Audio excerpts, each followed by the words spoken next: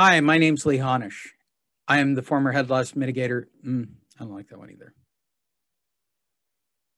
Hi, my name's Lee Honish. I started in real estate and banking in 1988. I have worked in the distressed property field for over 30 years. For the last decade, I've created innovative marketing that helps real estate agents connect with homeowners who are in distress.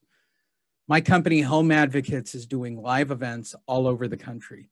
This is your opportunity to come out and learn how to be an advocate, learn how to market to homeowners that are in distress, and then ultimately how you can connect and engage and ultimately sell their house. This is an opportunity for you to get brand new listings. These events are 100% free. We're getting them covered by our sponsors. We're excited to invite you. I'm glad you're on the page right now.